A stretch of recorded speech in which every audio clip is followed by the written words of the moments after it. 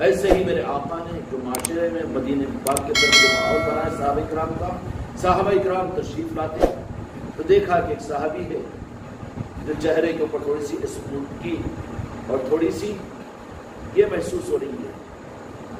आज का माहौल अलग है, लेकिन वो तो साहबा का माहौल लेकिन जो उनके गुलाम अपने आप को समझते हैं, उनके नाम लेवा समझते हैं, उनको इस रुख के साथ में अपनी तरबियत करना पड़ेगा, इस पैमाने में अपने आप को डालना पड़ेगा। महसूस किया कि जर्रा सा चेहरे के ऊपर सुकून की, यानी ये गम के आसार हैं। तो दो जहाँ के मालिक मेरे आका ने इर्शाद फरमाया कि क्या बात है? तो तुम जरा फिक्रमंद मालूम हो रहे। हो फिक्रमंद मालूम हो रहे। तो साहबी ने फरमाया, या रसूलुल्लाह सल्लल्लाहु अलैहि वसल्लम, मैं फिक्रमंद इस माने में कि आपको देखकर, अब तो इस वक्त में आप हमारे दरमियान में हैं। इसका मफहूम है अपनी जबान में अर्ज़ कर रहा हूँ। दुनिया बर्बाद भी हो जाती है, लेकिन आपके चेहरे को देखते हैं तो हमको सहारा मिल जाता है। दुनिया का कोई गम हमारे पास में गम नहीं, आपके चेहरे अनवर की ज्यारत के ऊपर सब भूल जाते हैं। दुनिया में आपके बगैर जीना हमारे लिए मुमकिन नहीं है। हमारे लिए। और हमारी खुशी खुशी नहीं रहती अगर आपके बगैर। और हमारे गम के अंदर में कोई सहारा नहीं होता, चाहे दुनिया खुद छूट जाए, लेकिन आपकी रुखसती और आपकी दूरी को हम बर्दाश्त नहीं कर सकते। लेकिन मैं ये सोच रहा हूँ कि जन्नत में तो आप आला दर्जे पर होंगे और हम उम्मती होने और सावी होने के हिस्से से नीचे के दर्जे में। तो जन्नत में कैसे गुजरेगी ज़िंदगी? तो वहाँ पर क्या मामला था? वो सावी क्या कहने लगे? यहाँ का तो गुजरने का मसला तो मेरे या रसूल का गुजर जाएगा। लेकिन जन्नत में बगैर आपके दीदार के हमारे, आपका आला मकाम होगा। आप ऊँचे दर्जे पर होंगे। और हम साहबी उम्मती होने की हैसियत से नीचे होंगे। तो जन्नत में हमारी कैसे गुजरेगी आपकी रिफाकत और आपकी सोहबत और आपके बगैर आप ऊपर दर्जे में हम नीचे कैसा होगा ये?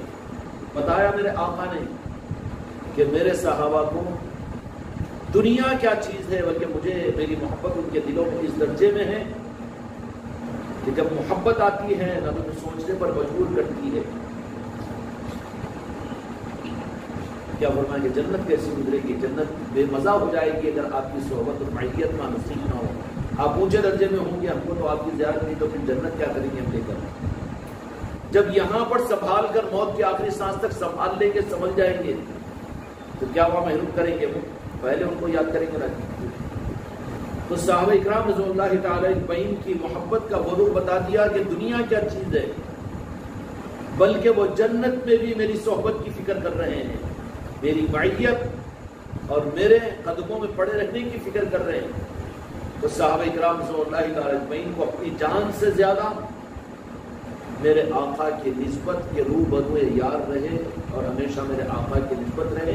बीवी, बाजू, बच्चे, बाजू, आल औलाद, बाजू, माल, बाजू, सब कुछ सूली पर चढ़ा दिए जा रहे हैं और तेल गर्म करके कबाब की तरह से तला दिए जा रहे हैं। बिल्कुल चलता है, लेकिन आका की नस्बत और आका की मोहब्बत। ये है इश्क मुस्तफ़ा का कुछ जर्रा बरा का म्यार।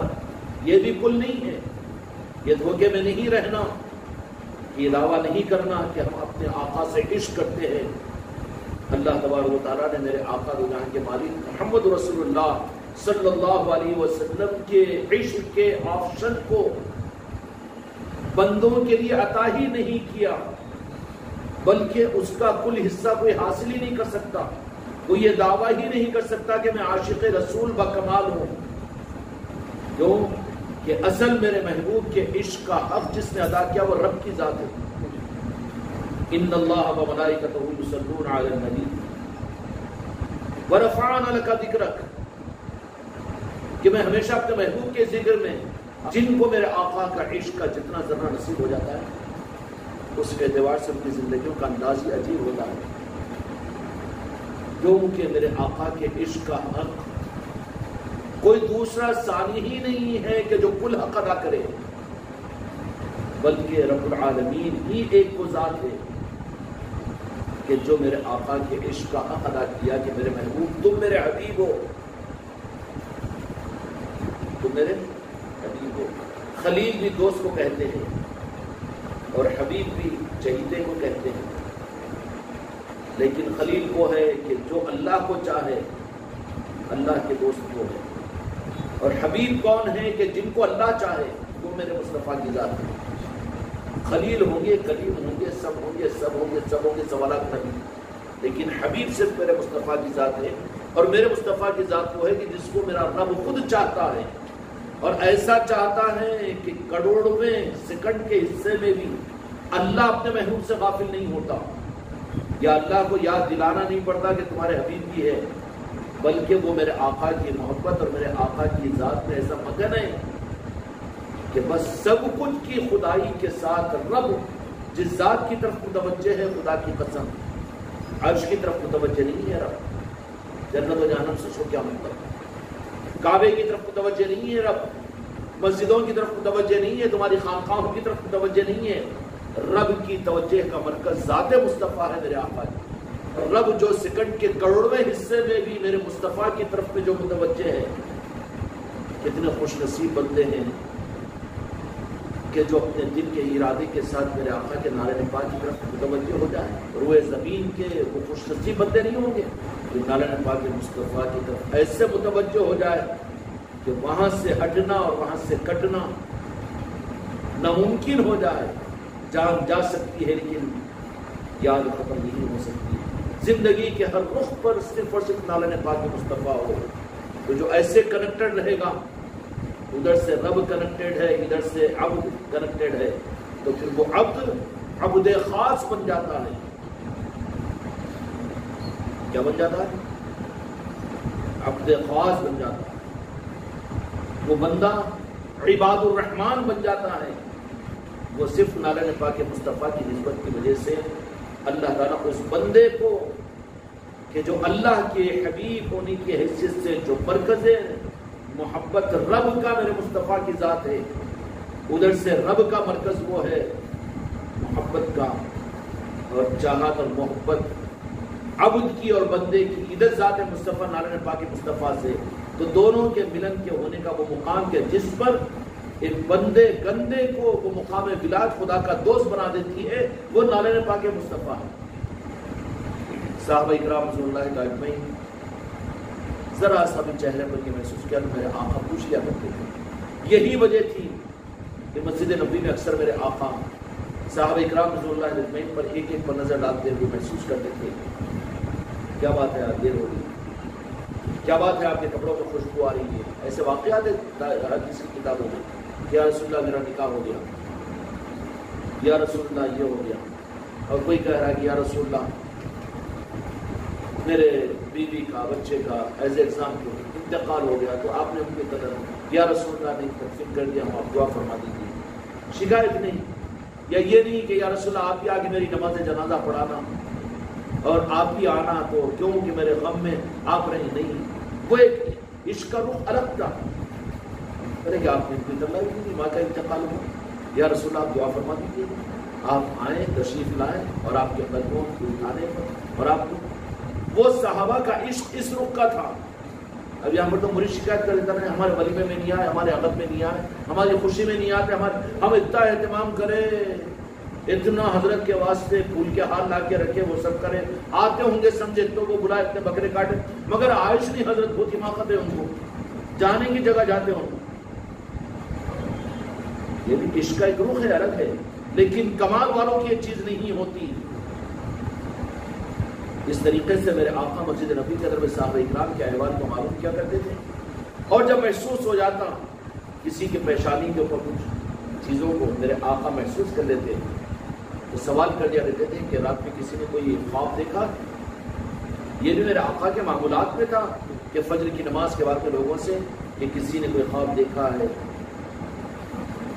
जैसे ज़माने कदर में ख्वाब ख्यालों की दुनिया अलग रहती है। बदअकीदों को मालूम ही नहीं है। अरे बाबा, तू बालिगिश नहीं हुआ निकाह की कई सोच रहा है? खामुखा के क्या खेल करेगा? खामुखा के खेल क्यों कर रहा है? एक बेचारे आलिम साहब का बयान का एक क्लिप हम सुने। उसके अंदर वो बोले कि बशारत और ख्वाबों का ये खामुखा के, ये ये चीज़ें क्या चीज़ है? बोले, ये कोई चीज़ नहीं। ख्वाब की बात ना वो करो, बोले, मुरीदिन को बोल रहे हो कि जागने की बात करो। तो जागने के बाद तो मेरे मौलानी के कौल के मुताबिक तो सारे इंसान सो रहे, मौत पर जागेंगे मर बैठे तो मारना हो मौलवी को।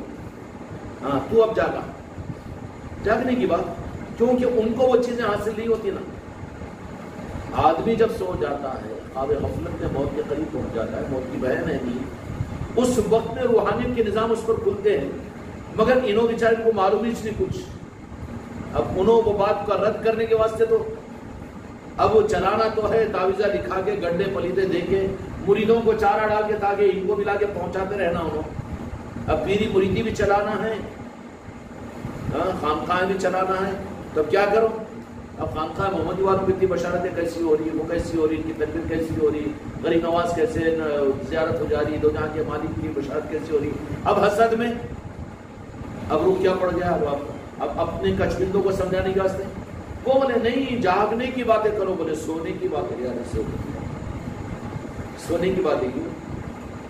ना वाकिफ है तो सीधा सीधा बोले ना बाबा इकरार कर लेना अभी, मुझे नहीं मालूम या कभी किसी कामिल के सामने, किसी कामिल के सामने, जाके जान में अदब तय करता कि तुझे रब्ज और हकीकत समझाएगा। जबकि हदीस पाक में रुया बशारत जो ख्वाबों के अंदर होती है उसको वही का साढ़े छियालीसवा हिस्सा करार दिया मेरे आका ने। और दीन के बहुत से आमाल को बशारतों और ख्वाबों के अंदर में बताया गया। और तो जहाँ के मालिक मस्जिद नबी के अंदर मस्जिद नबी शरीफ के अंदर में साहब इकराम से रात में किसी ने कोई ख्वाब और बशारत देखा तो पूछते और मालूम करते और आप उस ख्वाब के मुताबिक आप इर्शाद फरमा करते थे। अब उठा के पहलवान इसको नहीं मालूम कुछ भी तो बोल देता सीधे नहीं। बोले और उसको कमाल समझ रहा है। क्या बोले कि नहीं, वो पीर साहब तो बोल दिए उन्होंने।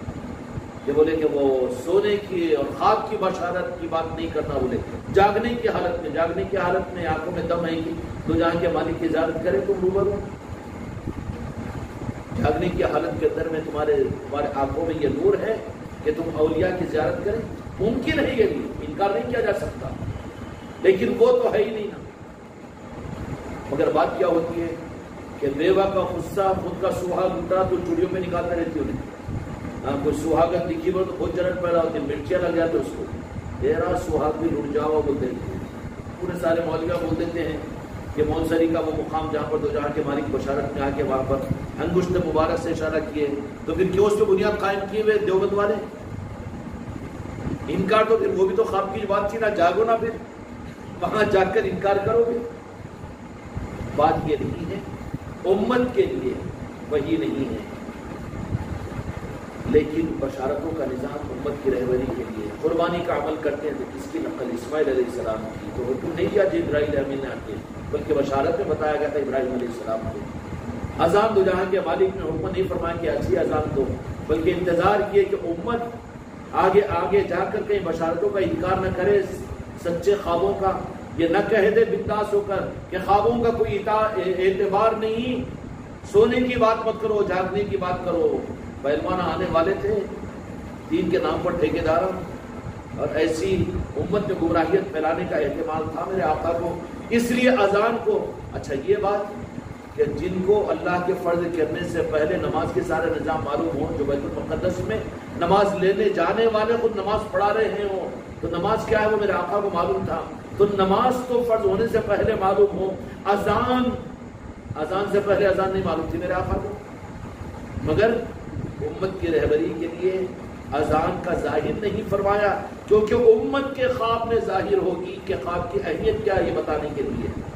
और उम्मत एतबार करेगी नहीं करेगी जितना जो ये कहे, जो ये कहे, क्या कहे? कि जागने की बात करो, सोने की बात ना करो, ख्वाब की बात ना करो। तो फिर अजान मस्जिदों से ख़त्म होना ना वो भी तो फिर ख्वाब की जो बात है रोज़बिल्ला नहीं, जागने ने दिए क्या था? ख्वाब में दिए था। और दिलवाया कौन? मेरे मुस्तफ़ा ने। और ये बात नहीं कि नहीं मालूम था, हमारा अकीदा है तो खुदा की कद सब मालूम है। कुरान नाजिल होने से पहले कुरान का इल्म मेरे मुस्तफ़ा को था। ये तो इनकार नहीं किया जा सकता। फिर अजान मालूम नहीं थी फिर क्यों इंतज़ार करवाया। ये बाद में पहलवान आकर बोलेंगे हसद के अंदर में कि सोने की बात ख्वाबों की बशारत की नफो करो, जागने की बात करो। उसके इंतज़ाम के लिए मेरे आका ने रुका दिया कि ठहरो। मालूम है मुझे अजान क्या है, मगर नहीं बताऊँगा। फिर क्यों? या रसुल्ला आप बताइए ना, बात और मज़बूत हो जाती है? नहीं। बल्कि उम्मत को रूह देने के लिए इंतज़ार करो, एक दिन, दो दिन, तीन दिन। किसी ने कुछ मशवरा किया, किसी ने कुछ मशवरा किया। इसलिए दीनी मामलात के अंदर भी ये जो निज़ाम है, शरीयत के निज़ामों के अंदर में इजतहाद का और मुजतहदीन का, उसका इनकार हम नहीं करते। लेकिन ये ज़ाहिरी चीज़ों में मसाइल से मसाइल निकालना ये भी दीन की है। लेकिन उसकी तस्दीक भी किसी साहेब कश और साहेब नस्बत और साहेब मुराकबा और साहेब बशारत से अगर उसकी तस्दीक हो तो फिर उसके अंदर में उसकी हिफाजत भी होगी वो हक का, हक की पहचान होगी। इसलिए इमाम बुखारी रहमत बुखारी शरीफ के बारे में लिखते हैं कि मैं दो जहाँ के मालिक से रास पूछ लिया करता था इसको वो तो ये तसरुफात थे बशारतों के अंदर या फिर ये तसरुफा एक नहीं, पूरी तारीख इस्लाम पंद्रह सौ साल इस बात से बनी हुई है कि नेक लोगों के सच्चे ख्वाब हुज्जत होते हैं। नहीं, बोले ख्वाब की बात हुज्जत नहीं होती तो उसको शरीयत कौन बना रहा मगर शरीयत को मज़बूत करने के लिए ख्वाब तो माविन होंगे ना। इसका इनकार नहीं कर सकते, इनकार करने वाले किस गुमराही पर उम्मत को ले जा रहे हैं? अच्छा उसकी वजह क्या होती है कि खुद के पास वो ऑप्शन नहीं है? ये तो तिजारत का निज़ाम है। तिजारत का निज़ाम है। क्या बात है? ब्रांडेड क्वालिटी दुकान तो बड़ा शोरूम लगा दिया लेकिन कोई एजेंसी उसको ब्रांडेड कंपनी की मिली नहीं। शोरूम तो बड़ा है। अब उन्हें क्या करेगा? नहीं जी, उससे अच्छी क्वालिटी है, उससे अच्छी क्वालिटी है। नहीं, हमको तो वही छोड़ना नहीं, वो वो नको होता ज़रूरी नहीं है। उसकी कीमत इतनी रहती, मगर उससे अच्छी क्वालिटी हम इससे अच्छी दे रहे हैं। ये मार्केटिंग है, वो चीज़ तुम्हारे पास में है ही नहीं। ब्रांडेड बिराची तुम्हारे पास में नहीं है तो वो चीज़ तुम्हारे पास मिल ही नहीं सकती। सीधा सीधा बोल दो, ना भाई, धोखा मत दो।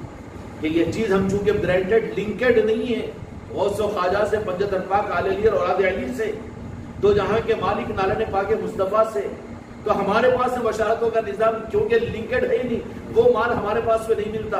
शोरूम का पता बता दो कि जाओ खानका को, जाओ वहाँ पर ले लो, ये खानका मुराद नहीं और ये इकराम के आस्थानों पर जाओ, गरीब नवाज़ के पास जाओ, गौसुल आज़म के पास जाओ, रातों के अंदर में उनके नाम को जतो और उनसे अपने मुराकबे के ज़रिए से उन दौलतों को हासिल करो। ये है ना ये ब्रांडेड निज़ाम, इनका रास्ता तो बता सकते हैं। उसके बजाय, अभी दुकानदार क्या करेगा? कई को ब्रांडेड के पीछे पड़े हुए भाई तो वो उसकी बात मत करो ब्रांडेड की ब्रांडेड की बोले? तुम बेवकूफ़ बन गए बोले। अब उन्हें बोला कि नहीं, मुझे ब्रांडेड ही छोड़ा क्यों? कि वो एजेंसी रहती है। और वो ब्रांडेड होने की हैसियत से उसकी कीमत भी ज़्यादा रहती है। मगर वो हर जगह नहीं मिलती ना, जो उनके एजेंसी वाला है। या उनके ज़रिए से जो मिली, वही मिलती, आम मार्केट में नहीं मिलती। तो नस्बतों की वजह से, एजेंसी से कनेक्टेड होने की वजह से बाबा मौराली की बारगाह में गौसो ख्वाजा की निगाह में आने की वजह से, वहाँ की रजिस्ट्री के बाद में सप्लाई होती है वो चीज़ें।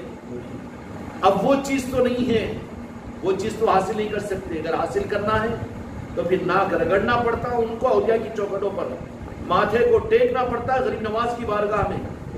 वो फिर पीर के पास उन दौलतों को हासिल करने के लिए उनकी कदमबोसी करनी पड़ती है। वो सारी चीज़ें करनी पड़ती है। इनो मुतकबिर नहीं कर सकते।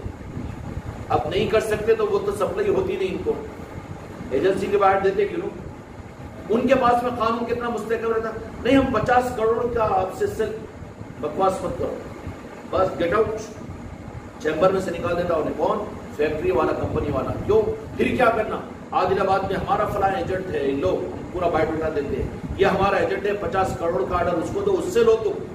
हमारा माल उससे मिलेगा डायरेक्ट तुम हमसे नहीं ले सकते। कानून है कि नहीं? अभी नेवला हैं जगमार के आ गए आप तो मिला ही नहीं। फिर अब क्या करना चाहिए? चलो, अब उसकी जो ब्रांडेड चीज़ है ना, उसकी अहमियतों को खत्म करो। जहन में से उन ब्रांडेड चीज़ों को निकालने की कोशिश करो। इसलिए पंजगत पाक का नाम कहीं लेना जी को मौला हसन, मौला हुसैन, सैयद कायनात, मौला अली क्यों कहना, गौसो खाजा क्यों कहना? क्या हमारे पास यही नहीं है कि यह हर एक को बाहर सप्लाई नहीं होता? यहाँ पर तो आल अली और औलाद अली का गुलाम बनना पड़ता है। और वहाँ रजिस्ट्रेशन मौला अली की बारगाह में गौसो ख्वाजा की बारगाह में होना पड़ता है। तो सप्लाई वहाँ पर नहीं, उन्हें तो गरीब आदमी, छोटा आदमी पचास करोड़ पचास करोड़ का ऑर्डर है। डायरेक्ट हम आपको ऑर्डर देते हैं तो कंपनी बोल देगी तेरे पचास करोड़ तेरे पास रख, ठोकर मारते हैं। तेरे पास में बड़े होंगे, लेकिन तुझे हमारे आईएसआई के ट्रेडमार्क के साथ में अगर ब्रांडेड आइटम होना है तो तेरे 50 करोड़ का ऑर्डर हमारे उस एजेंट से ले तू। वहाँ डुप्लीकेट मार्केट नहीं चलती। होंगे अपनी जगह कितने बड़े आलिम और मुफ्ती और खिदमत गुजार और मुजाहिद और बड़ी तहरीक चलाने वाले, बड़ी जरात के बानियों, मुबानी और बड़े बड़े सब कुछ होंगे, इसका इनकार नहीं है खिदमत गुजार होगा लेकिन यहाँ पर धार, यहाँ पर धार नहीं जमता वो। से पाक तो भेजेंगे राजन शाह वली के पास में। जाएँगे तुम गरीब नवाज़ के पास से माल खरीदने को कि हमारी तहरीक और हमारी जमात और हमारे इतने मुरीदीन। तो क्या करेंगे वो? शराफत के साथ में भेजेंगे ताजुल के पास में, हमारा ब्रांड तो वहाँ पर है। तुम डायरेक्ट नहीं ले सकते हमसे। कियामत तक कोई भी गौसो ख्वाजा की चौखट के बगैर, मौला अली की रजिस्ट्रेट के बगैर विलायत का जर्रा ले नहीं सकता। न किसी जमात को हासिल, न किसी इदारे को, न किसी दारुल को, न किसी मौलवी को। जो उनके पास में है, वो दौलत, वो तो सिर्फ़ उनके ब्रांचों से मिलेगी। और जिनकी पीरी मुरीदी, जिनकी खानका, जिनके मदरसे, जिनकी जमातें, मेरे गौसो ख्वाजा की मुस्ताक है। या राजन शाह वली और ताजुल औलिया, या औलिया के बारे में बसुबानी करते हैं, वो डिसकनेक्ट है, उनको वो हकीकी दौलत नहीं मिल सकती। उनको ज़बरदस्ती लाकर मत घुसड़ो। उसकी वजह क्या होती मालूम है?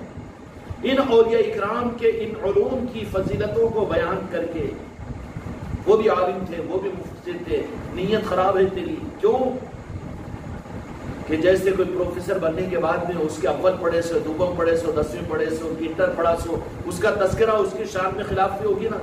मेरे गौर खाजा इनके ूम इनकी तफसीरें, इनके इलम खिदमत, इनके मदारस दुनिया में, ये दीन की रौनक पहुँचाने के लिए, दीन के शोबों में नूरानियत पैदा करने के लिए, इन लोगों को अल्लाह तबारक या मेरे मुस्तफ़ा या मौला अली पंजतन पाक उनको नवाजने के लिए उन स्कूलों में भेजते हैं। वरना कौन है रोए ज़मीन का, कौन सा मदरसा जो मेरे औलिया को रूहानियत की तालीम दे सके दीन की तालीम दे सके? बाबा फरीद को मज़ा लेके गए, मौलाना के पास है पढ़ने को। इनको बिस्मिल्ला पढ़ा हुआ मासूम बच्चे। बिस्मिल्ला पढ़ा हुआ अब वो भी उन्होंने बेचारे नहीं है। उन्होंने भी उस जमाने के काबिल लोग आज के ऐसे उछले मुफ्तिया मौलविया तो नहीं थे, जो औलिया ही की गुस्ताखी करने वाले कहा गया देखिए लाओ वहाँ बिठाओ यहाँ पर। पहले भी तरीका था वो अदब से बिठाते करते थे। बिठाने के बाद तो बिस्मिल्लाह कराने को लेकर आई थी। तो ठीक है, बैठिए, बिस्मिल्लाह। तो बिस्मिल्लाह पढ़ाने को लेकर आए तो बाबा फरीद, पढ़ो बेटे, बिस्मिल्लाह बिस्मिल्लाह शुरू कर दिया बाबा फरीद। फिर उसके बाद ये ये पहला पारा, दूसरा पारा, तीसरा पारा, सत्रह पारे। अभी लोगों से मदरसे में हाफिज कुरान बनेंगे। अब इनको ये बोले कि नहीं अलिया भी हाफिज बने सोचे अलिया इनफरादी मेहनतों से हाफिज बन गए थे, लेकिन हाफिज बनाने के मदरसे नहीं रहते अलिया के पास में। तो बाबा फरीद सत्रह पारे पढ़ लिए। तो अम्माजान पढ़ने को लाई कि पढ़ाने को लाई बोले तो फिर बाबा फरीद कौन से? कौन से मदरसे में जाके हिफ्ज नाजरा पढ़े थे? किरदाने गिने थे? कहाँ पढ़कर आए थे? औलिया इनको मदरसे के ताबे मत करो, मदरसे इनके ताबे हो। समझ में आ रही? जो मुहदसी मुफसरी सब कुछ होंगे अपनी जगह। लेकिन विलायत और औलिया, इन सब में उनके लिए, उनकी आबरू, दीन और शरीयत की आबरू होते हैं वो। आबरू होते हैं। उनकी वजह से दीन की रौनक होती है। क्यों? मदरसे की आबू अच्छा उस्ताद अच्छा आलिम और मुफसर होता है। होता है क्यों? अब जितना डंका बजा देना पूरी दुनिया के अंदर, देवबंद देवबंद देवबंद। वो किस वजह से कि वहाँ पर अपने वक्त पर अच्छे ओलमा थे? अपने वक्त पर थे, ज़रूरी नहीं है क्यामत तक रहेंगे। क्यों? कि अल्लाह का निज़ाम है वो जब तक अपने दीन को जिस निज़ाम से जितना फ़ायदा पहुंचाना है, पहुंचाएगा। भूखता नहीं है, ठेकेदारी नहीं है कि देवबंद ही एक इल्म दे सकता है, क़ियामत तक कोई ठेकेदारी नहीं है। तबलीग दीन को ज़िंदा कर सकती कोई ठेकेदारी नहीं है। कोई खानका ही उसी के ज़रिए से ज़िंदा हो सकती कोई ठेकेदारी नहीं है। वो अली का निज़ाम है, दुनिया के मालिक का निज़ाम है। जिसको जितना इस्तेमाल करे, उनकी नज़र में है। जब तक कनेक्टेड है, तब तक सप्लाई है। अगर एक नज़र भी थोड़ा सा हट जाए, बात खत्म हो जाएगी, वीरान हो जाएगा निज़ाम।